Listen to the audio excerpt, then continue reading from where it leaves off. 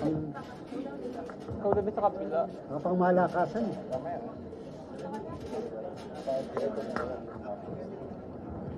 Teka, di ba kakaano? Sigaw kung ano kadaming camera yan.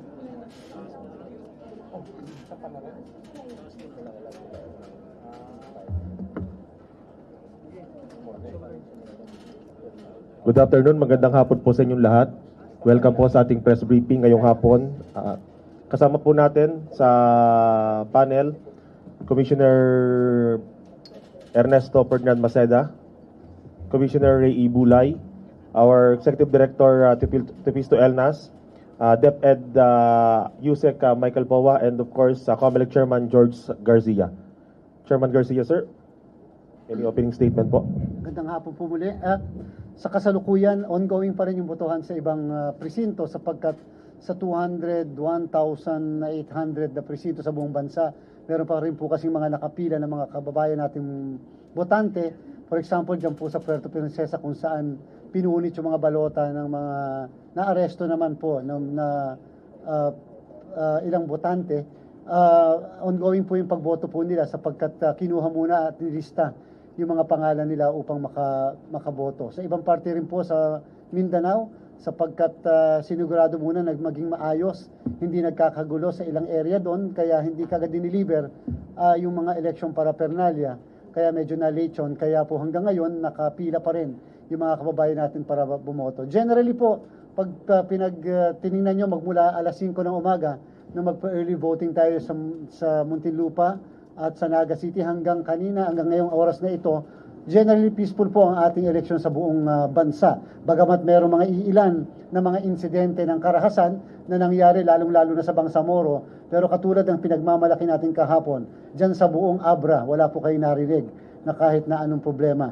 So yun po yung sinasabi natin. Doon naman po sa mga uh, red category areas na 365, wala rin po mga mga pangyayari na wala pong mga kaguluhan na nangyari maliban doon sa mga na, nangyari po sa Nunungan halimbawa.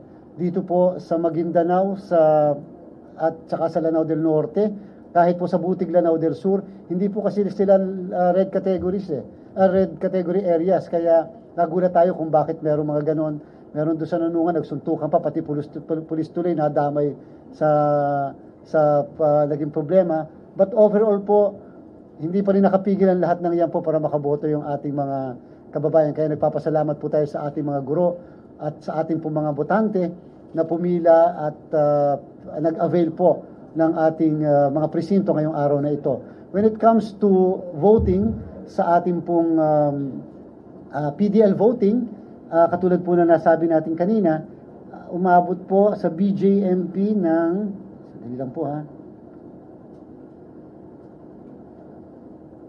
Uh, 92 sa 77% ang voter turnout po sa BJMP sa Muntinlupa sa Bucor sa Bilibid Prison 92% naman po yung uh, mga nakaboto natin na mga nakakulong na pero mga botante pa rin at pinayagan makaboto at yung iba po inassist sa mga presinto. So generally naging napakaayos po yung ating pong uh, botohan sa araw nito. Kaya lang magmamatsyag pa tayo hanggang mamayang gabi sapagkat yung proclamation uh, pag, ang pagbilang matatapos mga bandang alas 8 to 8.30 nga at yung proklamasyon ay aabutin mga 10 to 10.30 dahil nga sa dalawang posisyon ang ating pong binibilang ngayong araw na ito. Maraming salamat po. Thank you, Chairman. Commissioner Ray E. Bulay, ang uh, Commissioner in charge po ng uh, BSKE 2023. Com Ray? Again, uh, we would like to thank our partner agencies. Pero higit sa lahat po ang sambayan ng Pilipino, ang registered voters ho namin na may git kumulang 92 million na nag-participate po sa eleksyon na to. Ang mga kandidato at lahat po ng stakeholders sapagkat malinis po itong eleksyon na ito. Sumunod po ang buong bansa maliban lang sa negligible ah, na problema na hindi po masusolusyonan at napatunayan po sa pangunguna ng aming chairman at ng mga kasama kong commissioner na pwede naman pala pong gawing ganito. Malinis, maayos, at ang Pilipino po higit sa lahat gusto po ng matuwid. Dito, yun po ang napatunayan namin sa eleksyon ito. Kaya wala po ako nakikita na balakid, maliban sa budget.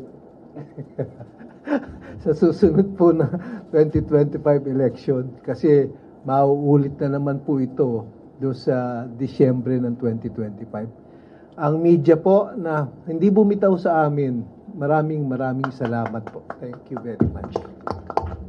Thank you, Commissioner Bulay. Ang ah, Commissioner in charge naman po ng ah, Committee on Contrabigay, Commissioner Ernesto Perdet Maceda. Com Thank you. Um, gusto ko rin ho idagdag ang aking pag-tersero sa na magpapasalamat sa lahat ho ng aming, especially our uh, stakeholders. Uh, I visited four voting centers this morning and uh, what I could say is aside from the participation of our teachers at our electoral boards and uh, the uh, police assistants, um, uh, nandun ho yung ating mga kapulisan ng ating BFP, ang sa lahat ng napuntahan ko, talagang napakalaki ng paghihirap at pagtulong ng participation ng PPCRV at ating mga citizens arms dahil sila ho nagsisilbi mga traffic cops lalo na dun sa mga voting centers kung saan dagsa ang mga tao kaninang umaga na hindi malaman kung saan sila magpupunta. Ang una hong tumutulong sa kanila ah, pagpasok at maging sa paglabas ay ang PPCRV. And I'd like to thank them also, the PPCRV and the other stakeholders who were all part of our effort against vote buying. Uh, our uh, running uh, tally as of now is there have been a total of 168 reports. Uh, of the 168 reports, uh, 28 total cases have been filed prior to the end of today's elections. 46 are expected to be filed anytime today. And we are eval- evaluating for further evidence yung 94. Napakalaking bagay po, ah, po nito kung ituturing natin na nung 2022 elections, there were 1,200 plus complaints of vote buying. Ngayon, marami rin ho tayong naririnig ah, here and there about ah, vote, ah, vote buying incidents supposedly happening, but none of them actually formalized are formalized. No? In fact, as of today, we have not received any formal complaint as of today. I mean, for today. So uh, uh, you you draw your conclusions for that, from that. But for us, this is a very positive and encouraging sign that our efforts have uh, borne fruit, and we are very grateful uh, for the participation of our stakeholders, especially you, the media. Hindi ho malalaman nung ating mga botante yan eh, yung aming mga efforts, kundi nyo ho kino-cover ng napakahusay. Ang daming camera. Maraming salamat po. Thank you po, Commissioner Maceda. For the Department of Education, uh, Undersecretary uh, Michael Poa, uh, Yusek. Thank you, magandang hapon. Uh, well, I just wanted to echo po yung mga nasabi na ng mga kasama natin dito sa COMELEC. First of all, I'd like to thank syempre yung ating mga guro, ating mga around 490, over 490,000 teachers no, na nag-participate voluntarily dito sa nangyaring eleksyon na to. Uh, syempre po, no, nagpapasalamat din tayo sa COMELEC, led of course by the chairman and of course the commissioners beside me today uh, for keeping our teachers safe and for the really effective coordination that we've been having, not just today, but you know, in preparation for today. Ah, ngayon naman po, no, hindi naman po kami tumitigil. Nandito pa lang kami nakamonitor kasi sabi nga po ni Chair, ah, hanggang 8 o'clock pa siguro tayo magbibilangan dito. So, ah, nandito lang po kami. Kung meron pong mga concerns yung mga teachers, wag po silang mag-atubiling tumawag sa ating hotlines, ipaalam sa ating command center. And lastly, I'd like to thank of course the media.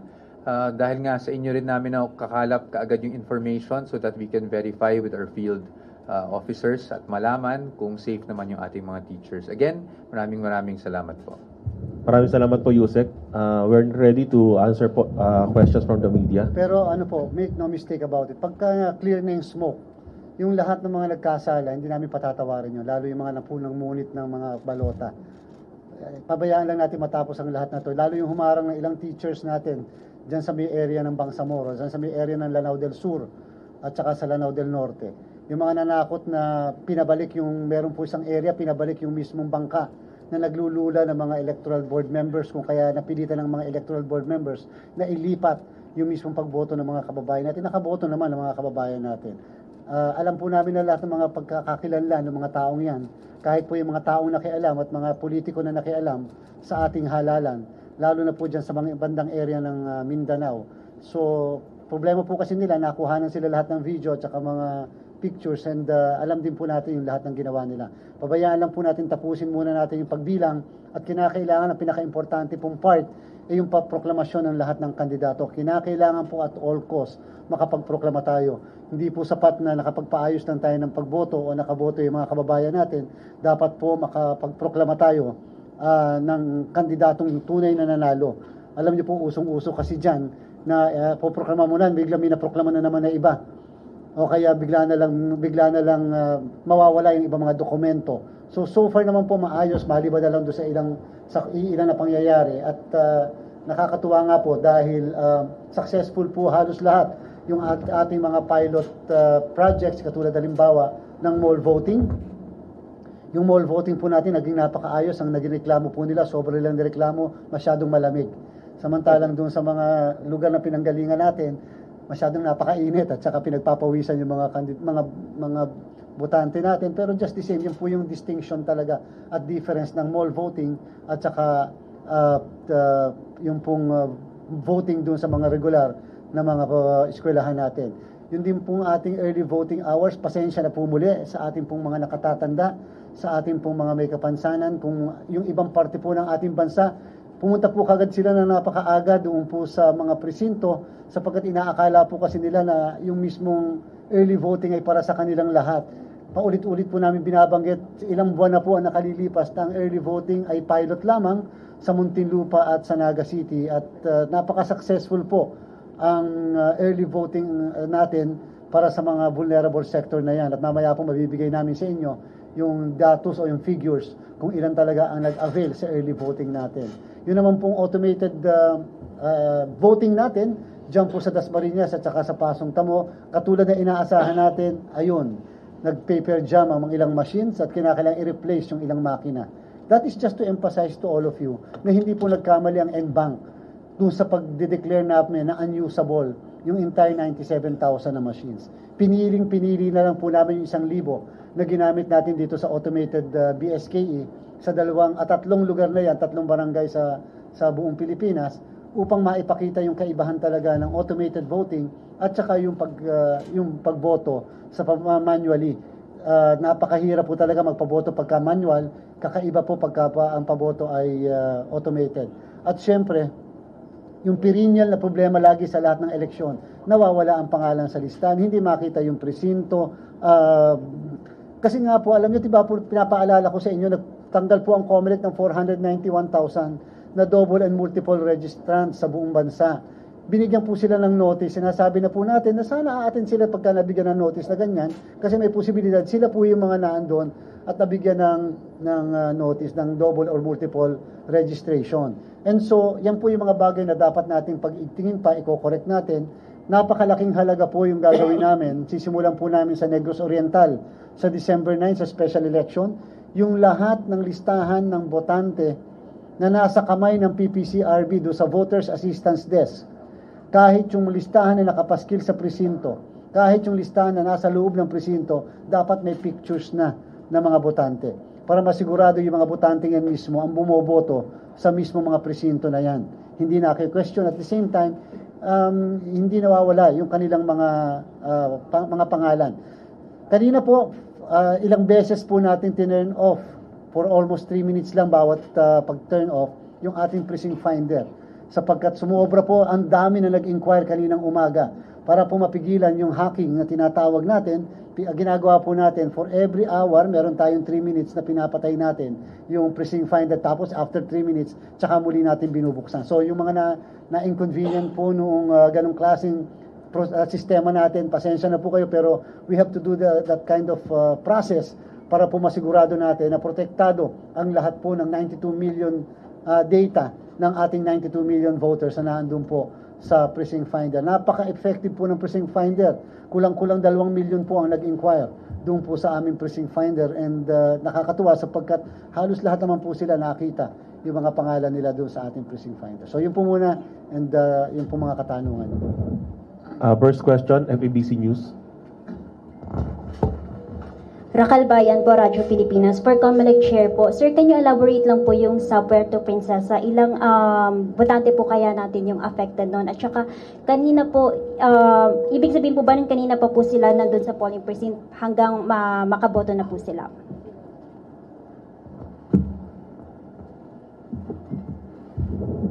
Okay, ayun po kasing uh, da- dalawang cluster, isang, isang clustered precinct po yun, dalawang presinto na pinagsama, yung one, precinct 121B at saka 122A. So malamang-lamang ito, mga more or less, mga 400 voters po ito. Ngayon po, nung madisrupt po kasi yung botohan ng mga bandang uh, 10.30 ng umaga, may mga nakaboto na po tayong mga kababayan. Then That's the reason why po, halos uh, kalahati na po ng mga botante doon ay nakaboto na mula alas 7 ng umaga. Mas simula nung madisrupt po nila at may, may nagtatanong po bakit napabayaan ng PNP. Hindi po natin mabe-blame ang PNP.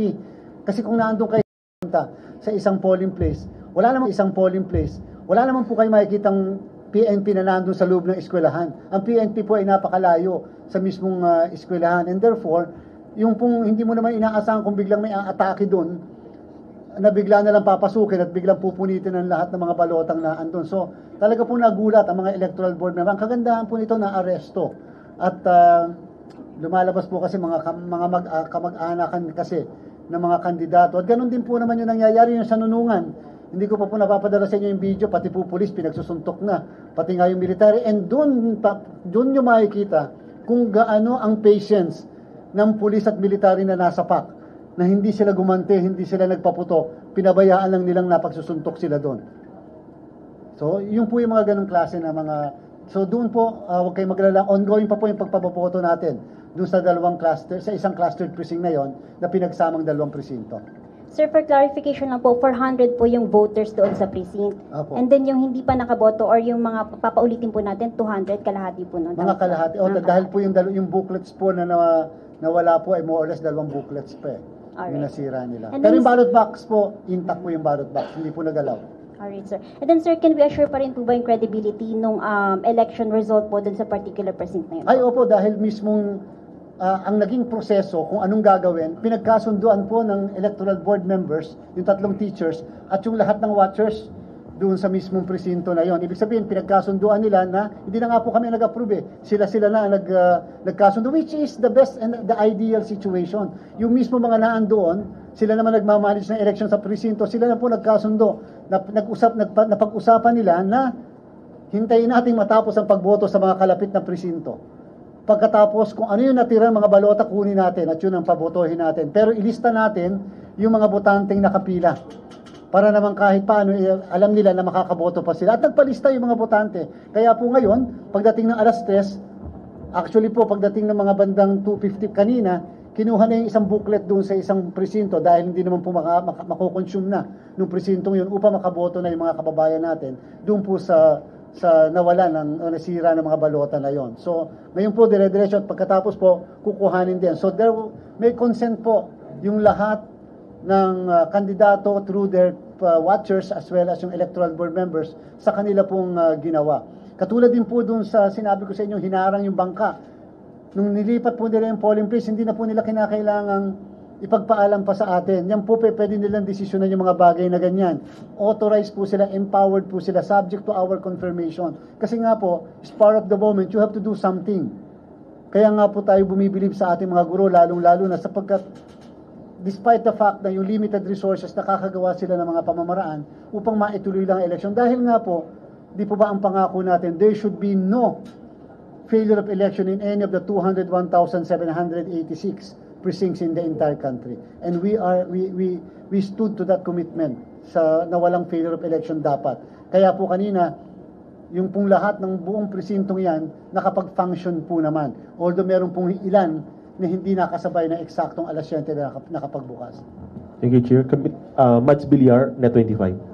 Hi, sir. Sir, ilang kandidato po yung suspended yung proclamation? And yung kandidato po ba na kamag-anak nung sa Puerto Princesa kasama sa ipapasuspend? 245 po lahat yung hindi natin pinaproclaim na mga ah, kandidato. In fact po, may hinahabol pa ngayon ang task force EPAL na additional 60. Gusto nila i-file ngayong araw na ito bago ma-proclaim mamayang ah, gabi kung sakasakali.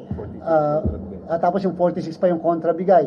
Kung sakali hindi namin masuspend yung proclamation, at least pumasok ngayong araw na to bago sila ma-proclaim the COMELEC still assume jurisdiction. Yun po ang rule natin. Basta may pumasok na disqualification cases prior to prior to the proclamation of the candidate, the COMELEC retains jurisdiction. And therefore, hindi lang po election offense case yan, kung hindi disqualification case po yung kakaharapin ng mga kandidatong yan. So yung 245 safe na po yon, hindi po sila mapoproclaim until there is an order or a decision from the commission. And we properly inform all BBOC, Barangay Board of Canvassers, through our election officers not to proclaim these candidates. In fact, pag in-accomplish po nila yung Certificate of Canvass of Votes and Proclamation, halimbawa po, ang involved na position na sinuspend namin ay barangay chairman, wala po sila makikita, blanco po yung barangay because may nakalagay po doon, suspended per Comelec Minute Resolution Number, ganyan po yung nakalagay.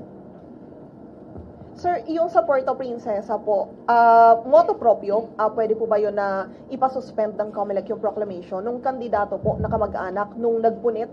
Para po kasi parang para po kasi hindi magandang isuspend ang proklamasyon ng isang taong walang formal na kaso pa sa amin. Number one. Number two, napakahirap din po pati mag-suspend ng isang kandidato na kasalanan kasi nung iba. Di po ba? Yung election offense, pwede po namin siyang idamay conspiracy. Pero yung disqualification, sa kanya po mismo yun eh. Unless and until we can prove that there was a direct hand on his part to to cause this commotion. Kung merong ganun, pwede namin siyang idamay. Pero napakahirap pong i kahit po sa criminal nga po, ang hirap basta i-relate kung hindi naman po siya mismo ang gumawa at supporter lang po nila at kamag-anak. Thank you, sir. Uh, Camille Samonte, TV5. Hi sir, good afternoon. Chair, yung babalikan ko lang sir na mention niyo yung sa Nunugan, no? Kasi nagva-viral na po yung video on online. Um, do you have info, ano po ba yung explanation nung commotion? Alam niyo, hindi ko po maintindihan kung bakit ganun lang kainit talaga. Lalo na dito sa may area ng Bangsamoro, masyadong napaka-passionate sila dito sa election. Lahat naman tayo passionate sa election, pero wala namang suntukan at wala namang barila na may namamatay. Hindi ko po talaga maip- maipaliwanag kung bakit ganon. Yung passion, yung emotion, bigla na lang mainit. Pati pulis, sapakin mo ba naman pati pulis?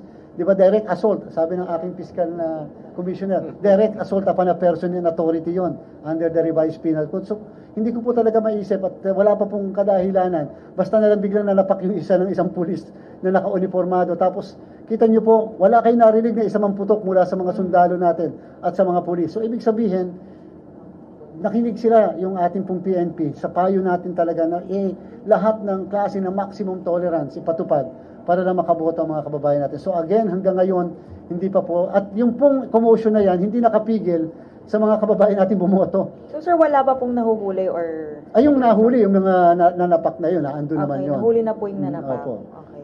Sir, last na lang din from end.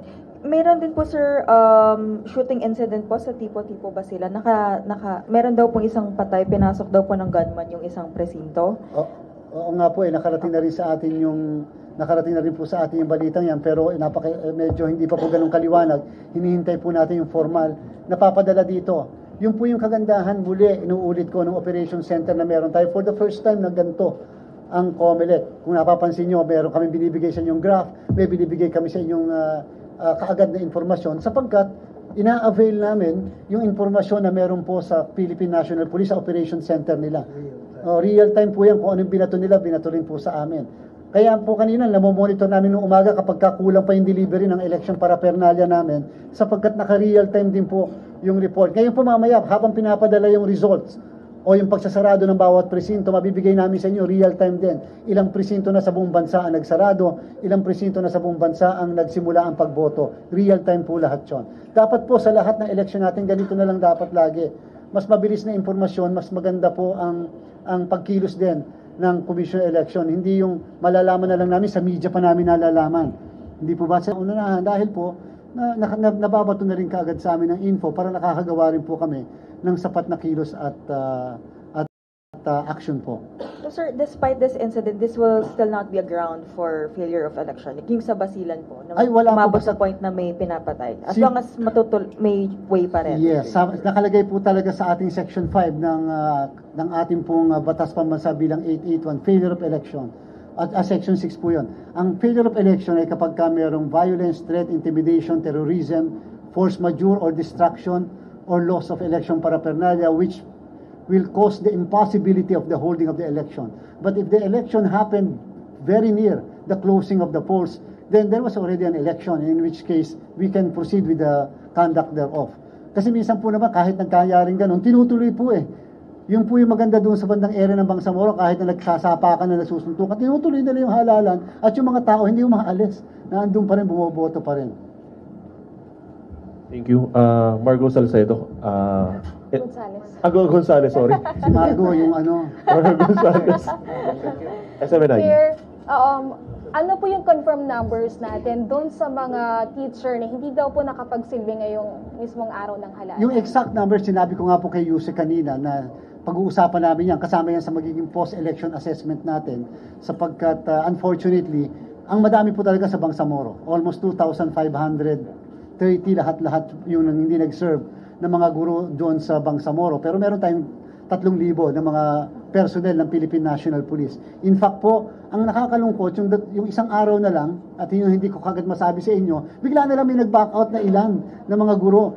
For whatever reason, hindi naman tinakot, pero bigla na lang nag-back out, nagsabi. So buti na lang, may nakahanda kami, kahit Philippine Army, hinanda po namin para lang kung sakasakali, kahit pang third member lang ng electoral board member. Hindi naman po lahat eh. Minsan pangatlong miyembro, yung pangalawang miyembro ang nagwi-withdraw. Dito po sa bandang Bicol, may mga nag-withdraw rin, mga sampu na electoral board members. At pagkatapos, siyempre doon nga po sa kahapon, finally, inayos po namin yung mga figures. Eh, sinabi nga po natin, nung uh, napunta tayo sa Abra, lumalabas 29 lang pala naman yung nagwi-withdraw ng mga electoral board members. Hindi po makatotohanan yung 108 o yung even 58. So yung, yung po lang yung mga nagwi-withdraw ng mga guro natin. Siguro isang bagay din yun na dapat nating uh, uh, yung gusot na dapat nating ayusin sa mga susunod na halalan.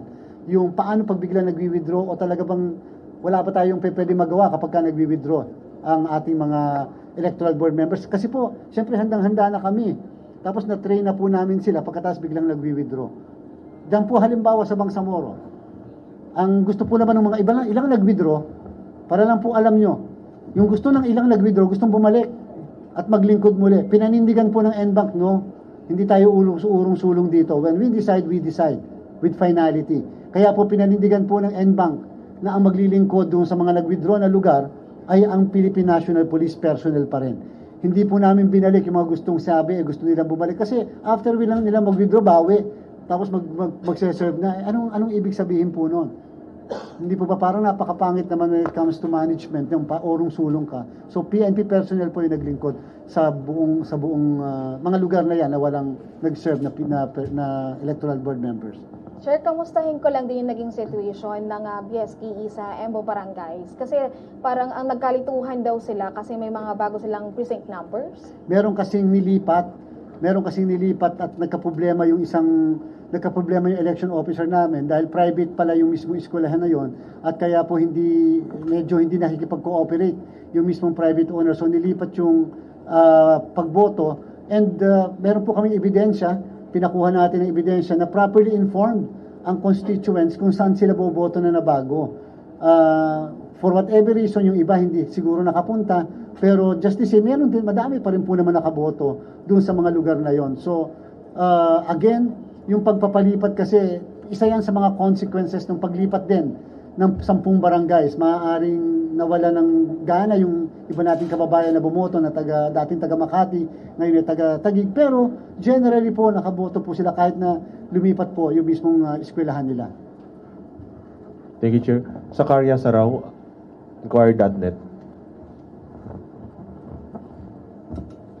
Hi po, Chair. Uh, ap- apart po from Puerto Princesa, may mga polling places pa po ba na hanggang ngayon may ongoing pa rin yung mismong botohan? Opo, dyan sa Bangsamoro, napakadami pa po tayo na ongoing sapagkat late po kasi sila nakapagsimula and therefore yung mga kababayan natin ay ah, hanggang ngayon nakapila pa rin.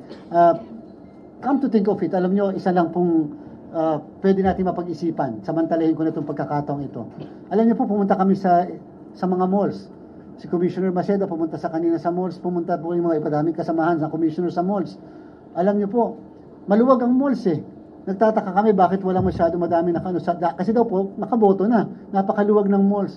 Samantalang sa isang eskwelahan na pinuntahan po natin, sa isang kwarto napakaliit.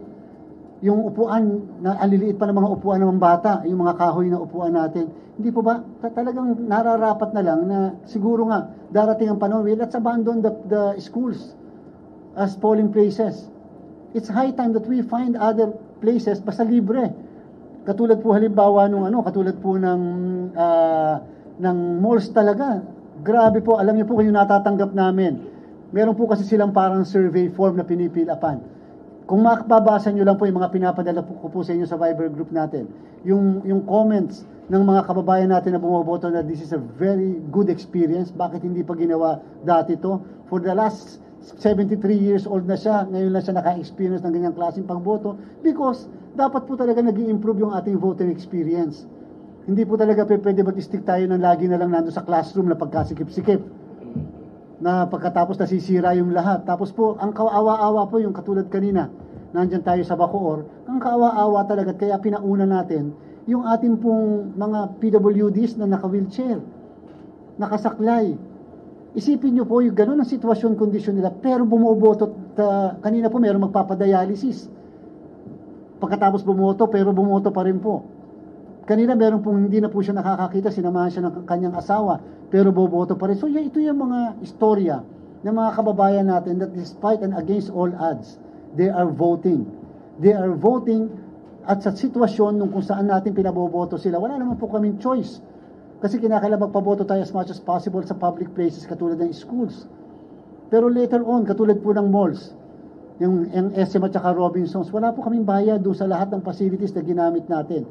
Binuksan nila ng alas 5 ang lahat ng air conditioning units nila. Kaya siguro sobrang lamig. Pagkatapos, lahat po ng mga personnel nila, pinagamit nila sa atin at napakaganda ng working exp- ng, ng experience po. Sa Robinsons po, nagpagawa sila mismo ng voting booth na ginamit. Hindi na po mga hindi na po mga upuan ang ginagamit doon. Kung kaya mo maka, makagamit doon sa voting booth, hindi po ba pinag-aaralan na namin, maganda po mapag-aralan na kung mag pwede na rin tayo magpagawa ng uh, voting booth kasi yung ginagamit natin ay yung mga upuan na pagkaliliit ng mga bata.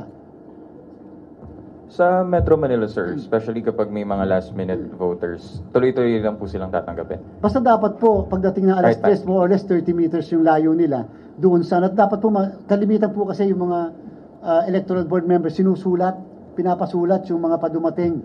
Therefore, isa-isa po silang tatawagin. Ah, okay po. Alam niyo po, hindi magawa na, hindi namin gawin yung tinatawag na extension. Kasi wala mo naman pong basis to extend. At uh, number two, siguro nga ang pakiusap na lang natin sa Kongreso na mapag-aralan din na pagka BSKE po, dalawang positions po kasi yan, SK at saka barangay, baka pwede hanggang alas 5 ang botohan kaysa po alas 3. Hindi po ba mas maganda po mahaba-haba ng konti para mas ma-accommodate po natin mga kababayan natin boboto? Come to think of it, 7 to 3 may not be enough.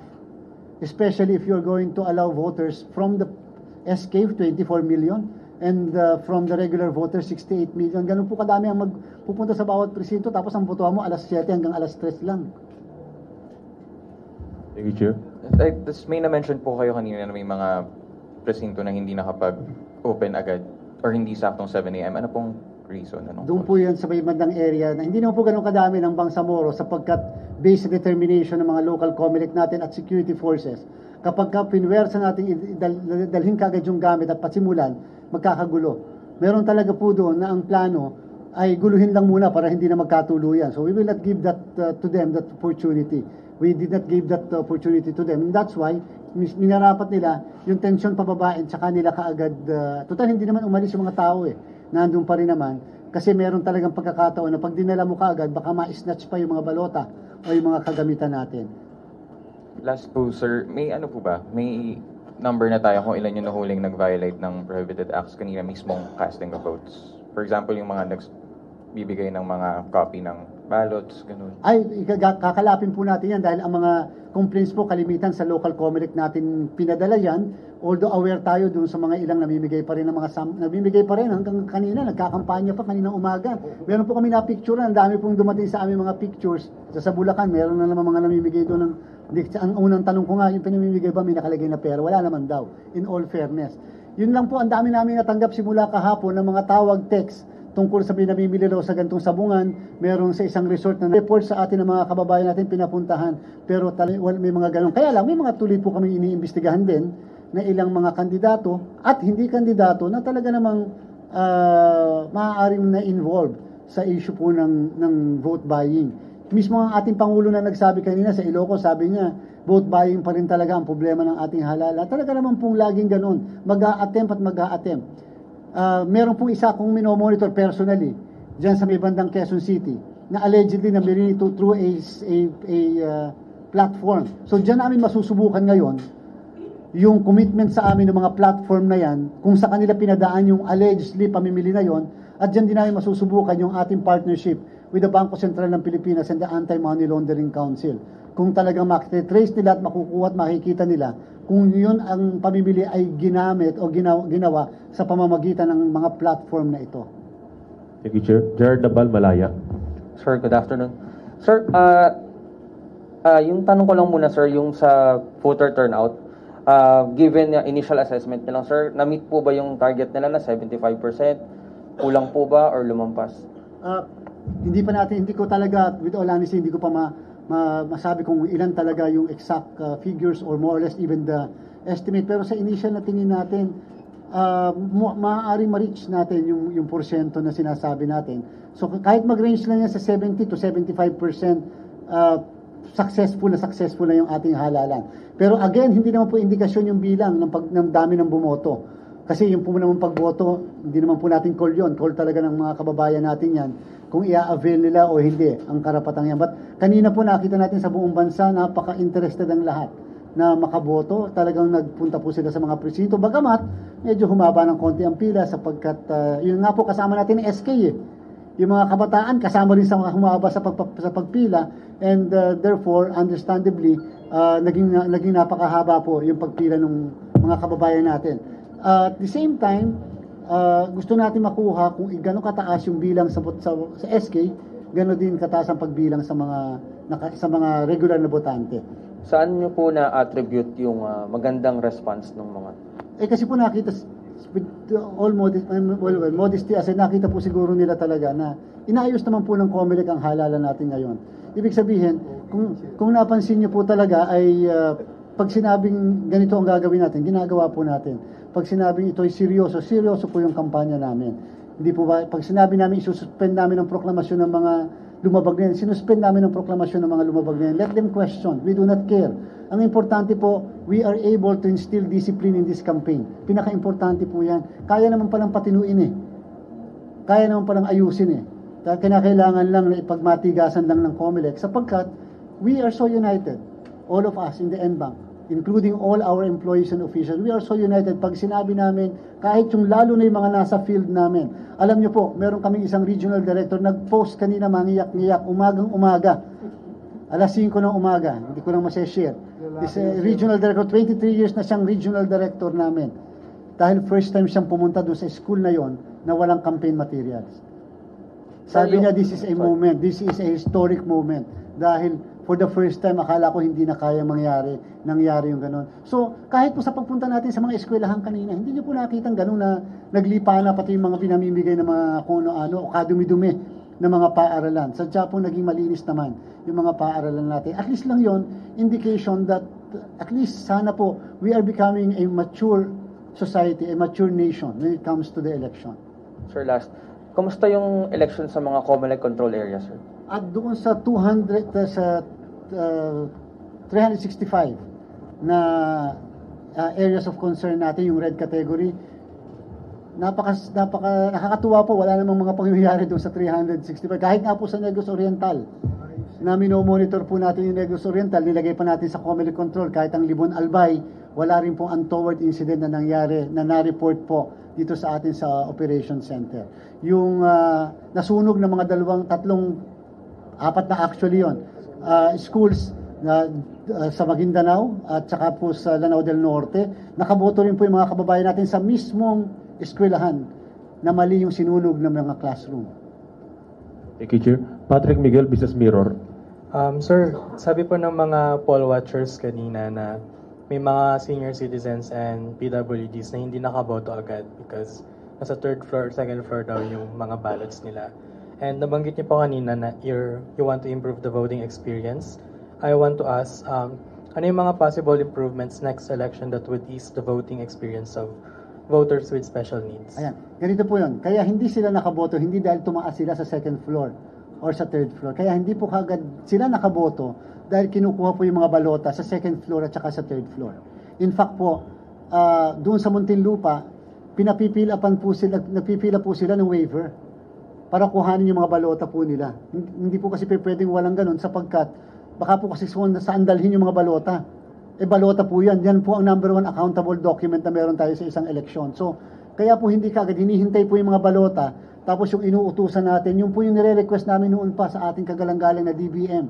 Sana bigyan po at damihan yung support staff support staff ng DESO, yung support staff ni na principal, bakit yung po kasi yung taga-takbo eh, sa second floor, sa third floor, para kuha na isipin nyo po, kung may 30 butan, mga naka-wheelchair, isang tao lang ang inuutusan mong kuhanin ng lahat ng balota doon sa iba't ibang presinto na nasa second floor, third floor, bago po makabalik yung taong yon para lang mapag mabigay yung mga balota. So talaga pong doon lang nagkaroon ng, ng bottleneck doon sa part na yon. So ano po yung ah, dapat nating adjustment? Sa budget po talaga eh. Bigyan lang po kami ng sufficient na budget. Katulad po ng dati, at ayan po alam ni, na, ni, ni na Yusek. Para let's let's be ano na po, transparent. Ang gusto po namin isang isang support staff bawat isang presinto. Isang support staff bawat isang presinto.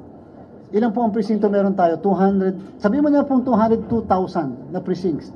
So ibig sabihin 202,000 support staff po 'yon na tao na pasisweldohin niyo po ng 5,000 pesos.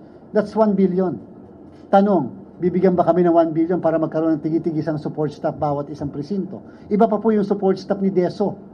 Yung support staff ni DESO at support staff ng EAPP, Emergency Accessible Polling Places natin, kung saan bumoboto yung nakatatanda. Iisa lang po yung kanyang support staff dahil isa lang po ang inauthorize sa aming i-hire.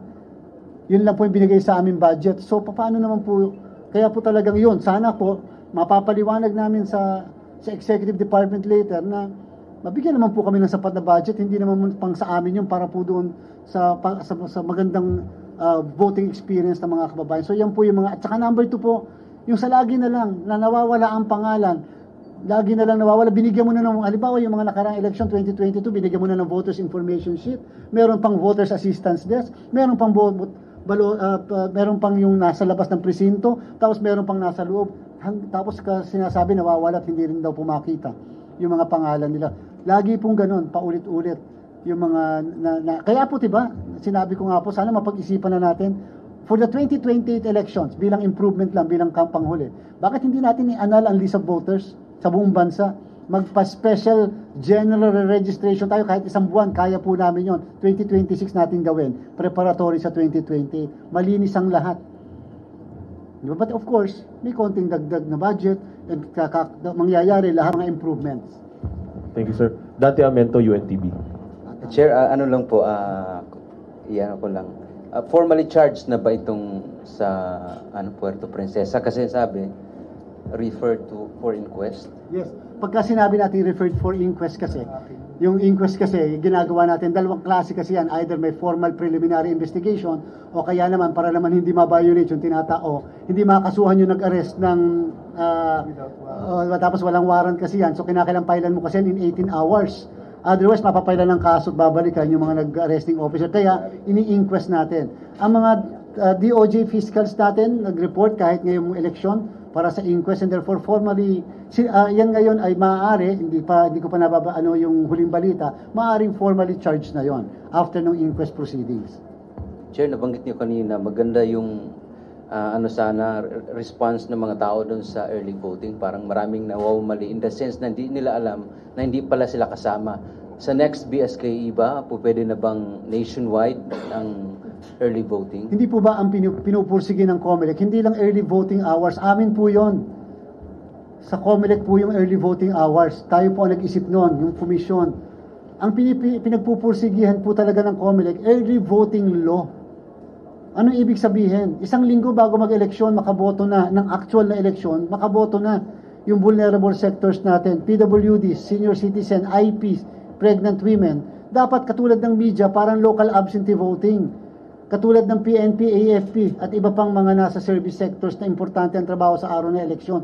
Dapat pabotohin po sila. Ang tanong ng mas maaga, tanong, bakit kailangan ng batas? Dahil kailangan ng budget.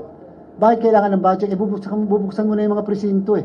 Kasi nga pabubutuhin mo na yung mga nakatatanda at saka mga mga miyembro ng vulnerable sector.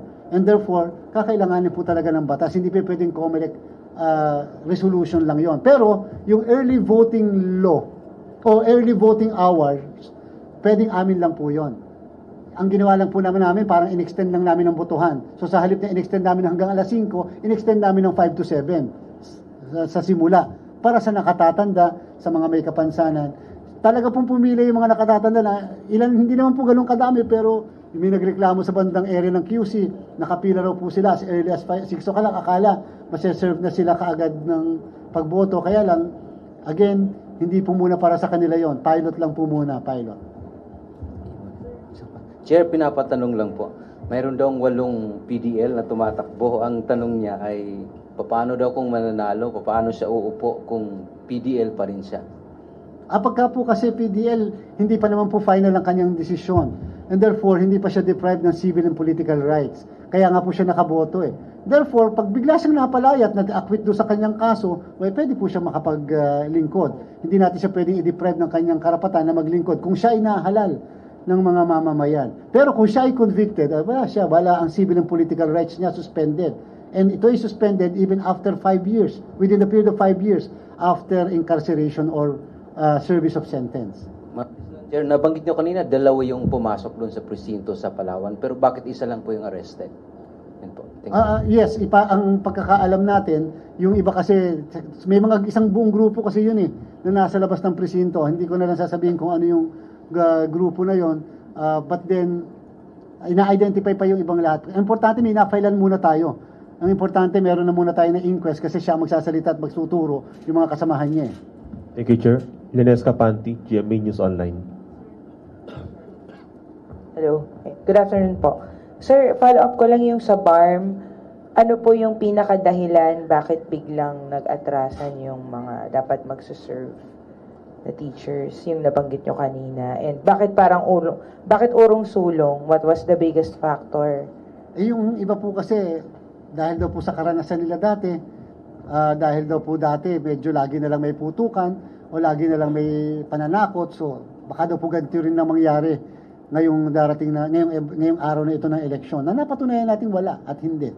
Ah, although meron ding mga ilang nagkaputukan, meron dalawa pong meron pong namatay kaninang umaga, ah, na, na nagkabarilan po. Ah, na, un- napaka-unfortunate pero the fact na gusto nilang bumalik, ibig sabihin po, napansin nila na mukha namang tahimik talaga yung pagkukondak ng halala natin. Kaya nga lang po, napaghandaan na po kasi namin eh. And uh, yun nga, yung sanang isa sa mga pagbabago na dapat nating ayusin sa susunod. Ano ang ano ang pwede namin magawa kapag nag-back out? Kasi pag na-train nyo na po, ginastusan na namin eh. Lalo pa pagka automated dyan, ginastusan nyo na po eh. Meron siyang transportation, merong allowance na ganyan. Pagkatapos bigla magbaback out, medyo parang, uh, pa- parang may mali po doon sa bagay na yun. Kaya lang, naintindihan po natin, ang under the Education Act, yung bagong Education Act, hindi po mandatory ang uh, ang pag-serve ng mga electoral ng mga teacher sa araw ng election.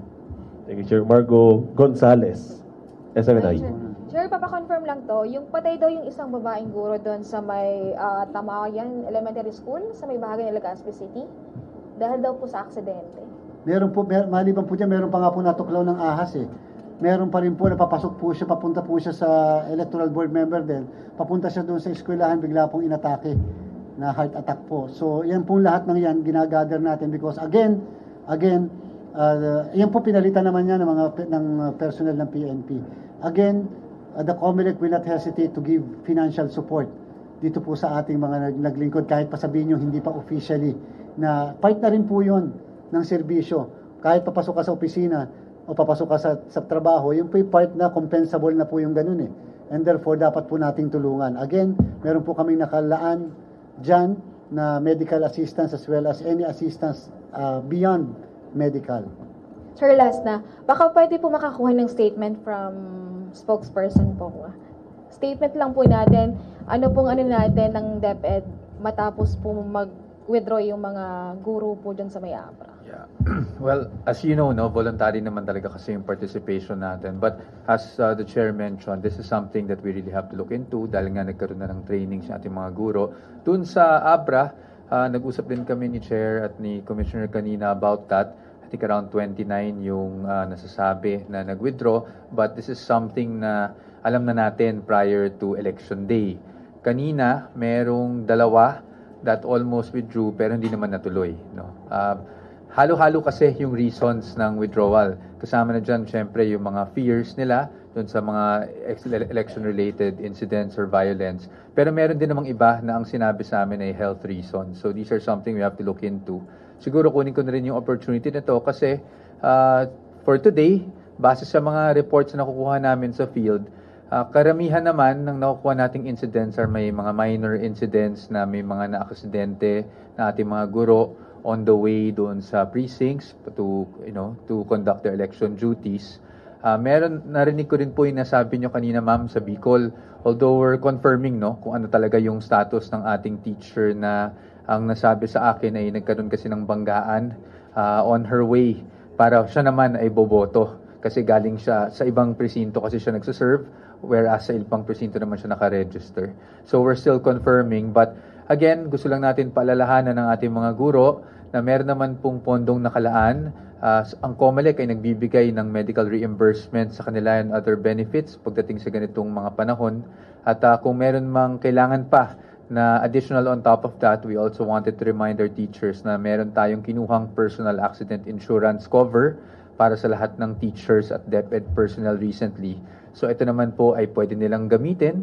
Kailangan lang nilang mag-file uh, ng claim sa GSIS or pwede silang uh, to contact na lang yung kanilang SDOs at kami na po sa DepEd ang makikipag-ugnayan sa GSIS. So again, i-remind ko lang po, meron silang medical reimbursements, benefits uh, galing sa COMELEC mismo, uh, basta po related sa kanilang election duties. At uh, on top of that, meron din po silang personal accident insurance. Maraming maraming salamat po. Thank you, Yusek. Luis Irisme, PTV Port.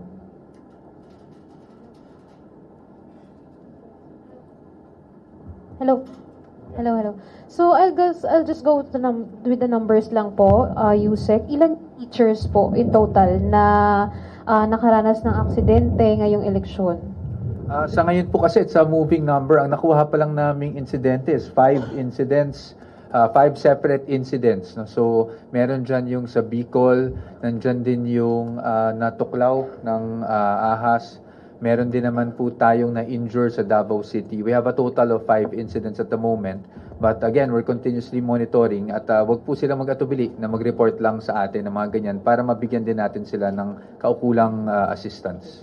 Thank you po. Chairman, uh, numbers din po, ilan po yung lahat ng insidente ng mga aberya naman sa mga presinto po natin? Ilang eskwelahan? Ilan po? Kinakalap natin lahat-lahat yun uh, sapagkat again, uh, hindi natin muna kasi inistorbo tungkol sa mga ganon yung ating mga election officers kasi kanina busy sila lahat dun sa distribution ng uh, election paraphernalia pinag-concentrate muna natin kinakailangan ma-distribute on time kasi kanina ng umaga na mag-aalas 6 na monitor natin dun sa mga binabato sa ating mga datos na hindi pa nakukolekta o na-distribute yung ilang election paraphernalia natin sa ilang. So doon muna natin pinag-concentrate.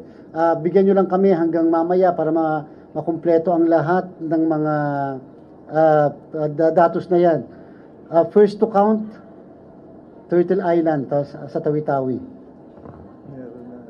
And the uh, first uh, to complete closing of polls and now counting Region 3, the entire Region 3. At yung first to update was Region 6, followed shortly by Region 3 and followed by CAR and Region 2. So lahat-lahat na po pumapasok na lahat yung mga updates natin. Siguro po kahit bigyan nyo lang kami ng mga isang oras pa, bibigyan namin sa inyo yung pinakalitas na update, especially kung ano na yung update sa pagbilang at kung meron pa rin nagbibilang o nagpapaboto after one hour natin. Sir, last na from my end, kasi ang dami pong insidente, sinabi niyo generally peaceful, is is it really generally peaceful, sir? K- kasi ang pagtingin natin doon sa when you say general peaceful at saka when you say ilang insidente, ipa-factor in natin yung ilan yung botanteng involved, uh, 92 million, ilan yung naapektuhan, kung ano naapektuhan. Sabihin na natin, hindi naman sa minamaliit natin. Sabihin natin about 200,000 or 300,000 na mga botante, kumpara mo sa 92 million, mukha namang napakaliit na porsyento yon uh, kumpara doon sa. But of course, wala pa rin, wala, wala namang perfect na eleksyon Walang eleksyon na hindi na wala ang pangalan daw ng, ng botante. Walang eleksyon na wala lang suntukan. Walang eleksyon na walang nagputukan. Walang eleksyon na bigla na lang na namatay. So far, lagi tayo may ganon sa lahat ng halala natin. Talaga lang, ang importante lang, ma-prosecute kung sino man ang gumawa. Hindi pa pwedeng paligtasin. Kasi kung dati nakakala, nakakaligtas, dapat hindi ngayon. So, uh, kung tutuusin natin, you have 202,000 precincts, tapos kunyari na ang na-disrupt, sabi mo lang kahit pa 2,000 presinto, then you still have 200,000 precincts. So, pag tinignan nyo pa rin, maliit na porsyento pa rin yung nagkaroon ng disruption as against doon sa natuloy ang ating halalan. And to us, to us that is a victory of sort. Kasi uh, despite the fact na, na napakadami na nating botante ngayon, kumpara sa mga naging botante dati. Ngayon, napakadami nating botante. Uh, nabanggit kahapon ni Commissioner Bula yung election-related violence noong 2018 at saka 2015. Ngayon, ang confirm pa natin as of kahapon is 29 pero titingnan natin madadagdag ngayon. Sa, twi- sa 2010, 97. Sa 2013 is 57. And 2018 is uh, 40. So titingnan natin kung aabot sa 40 simula yung nangyari na mga insidente kanina. Thank you, Chair. Uh, Isa Omali, GMADCWB. Hi sir, good afternoon po no. Ah, ma- naging pasikasig po kayo sa inyong campaign versus mga EPAL na mga politicians or candidates, pati po sa vote buying and vote selling. Sa palagay niyo po ba sa inyong pong initial assessment, masasabi po ba natin na naging effective po ito? Meron bang nagbago talaga dahil nga po naging masikasig kayo at talagang ah, trinabaho niyo po ito? Thank you. Ah, actually, ma'am, ma'am Isa, kasi napakahirap sa amin manggaling. Maganda po siguro makapagtanong din tayo sa ating mga kababayan kung ano ang pagbabagong kanilang napansin, lalo na po yung pre-election. Ako po, simple lang sa akin, kung napanatili natin malinis ang, at maayos ang ating paligid, kahit na during the campaign period, sa akin palagay, may naka-accomplish na po tayong kakaiba. May nasimulan tayong kakaiba na matagal na pong hinahanap ng ating mga kababayan. Naglaging ganon, laging ganyan. Yung vote buying, kita nyo naman po. Yung GCash, Paymaya, hanggang ngayon bine-verify natin kung may nagpadala. Pero so far, wala po na-report sa amin. Wala rin po kayo na-report na may namili sa pamamagitan ng GCash and Paymaya. Inaasahan po natin yun eh. Yun nga po yung number one na ina- inaasahan natin. Pero kita nyo po, sa pakikipag-ugnayan natin sa ibang ahensya ng pamalan, wala pong naka... Nagbalik sila sa traditional mode. Nahuli pa yung isa sa nabotas. Di ba? Ibig ko sabihin, madaming ganyan, madami. Sana po mas mapaigting natin pa yan sa mga susunod. Ah, mas madami pa tayong bag- babaguhin at gagawan, gagawa ng paraan. Simula lang po yan na kaya nating lahat basta tulong-tulong. Alam niyo po, nag-report sa atin ng mga kababayan natin. Nakakatuwa. Isang po, ilang po, ganun po kadami na issue natin ng show cause doon sa premature campaigning, 7,200. Hindi po yun formal complaints. Nireklamo sa pamamagitan lamang ng text, sa pamamagitan ng, ng, ng Viber o kaya Facebook. Inaksyonan po ng komisyon. Dati-rati po, di ba, laging reklamo natin, nagre-reklamo ka naman sa comment, hindi naman inaaksyonan. Ngayon po, inaaksyonan namin, pinakita namin, ginanahan sila mag-report na mag-report kahit hindi totoo yung nire-report. So, okay lang po yon Kasi madami rin kami dinismiss ng mga complaints. So, ganun po talaga. I, I think po, uh, bringing back the trust of our people to our electoral process is what is more important. Because if the people's trust in our electoral process is not there, regardless of any changes or, or any modification or transformation that you're going to do, hindi po nila tatanggapin eh. Kinakailangan uh, maipa... At ang susunod po, sa 2025, may panahon pa naman kami, dapat talaga voters education and information. Napaka-importante pong alam ng mamamayan ang nangyayari at dapat na karapatan po nila. Dapat po ganon. Lalong-lalo na po yung mga kabataan. Dapat uh, naintindihan nila lahat. Na, may sasabihin lang daw po si Commissioner Bula. Commissioner Bulay, sir. Thank you, ha. Uh, Kay, kay Luisa kanina, tsaka partly sa iyo, para, para it's very clear, yung statistics kaya binanggit ni Chairman, yung requirement po ng batas para magkaroon ng failure of election, yun pong violence should be enough para mapigil yung pag-hold ng election. Now, with all the st- statistics that you have, uh, you will, we, we will admit na hindi hindi naman enough yung violation din kahit yung pagpunit sa dalawang presinto sa Palawan, kahit yung suntukan sa mga pulis. May pinatay dito, may ano doon. No, no we, we abhor it and we condemn it. But those uh, hiwa-hiwalay na incident is not enough to stop holding the election. And that is the requirement of the law. Kaya po ganun ang classification namin. Hindi naman namin sinasabing tama lahat yung ginawa namin, but sinunod namin lahat to the law. At ang Pilipino, sumusunod. Kaya po, ah, kanina hindi ko napasalamatan yung mga EOs namin hanggang ngayon nagbibilang pa po. Uh, ini-extend ko po sa kanila yung pagsuporta sa amin. Maraming salamat po sa mga EOs. Salamat, Chair. Thank you, Commissioner. Gusto ko lang Chairman. pasalamatan yung PNP Quezon sa pag-aresto sa isang uh, suporta ng isang incumbent uh, candidate for barangay. Na-aresto kasi siya na may daladalang baril sa loob ng presinto. And it so happened na yung kanyang sinusuportahan na kandidato is facing disqualification case. Moto proprio filed by the COMELEC and uh, likewise uh, his proclamation in case he will win was suspended by the commission. So yun yung sinasabi natin. Ganyan ka, kikita nyo po, yun po ibig sabihin natin. Botohan na nga eh, nagdadala ka ng baril sa loob ng presinto. So anong gusto mong patunayan? Kaya mo. So naaresto po siya ng ating PNP uh, ng Quezon. Yun po yung ibig sabihin. We cannot even prevent people from doing things like that. Yung mga criminal minds talaga wala kang magagawa. But what is important is we are able to apprehend, arrest, and prosecute. Thank you, Chair. Any other questions? Kung wala na po, unless meron pang ah, ibang message ang ating panelists. That ends our press conference. Maraming po salamat. Magandang hapon sa inyong lahat. Dali, picturean ko lang kayo. Ako naman ang pipik. Pwede ba? One, two. Sa mga lahat. Sa mga lahat. Tatayo mo. Kayo muna, kayo muna. One. Thank you. Thank you.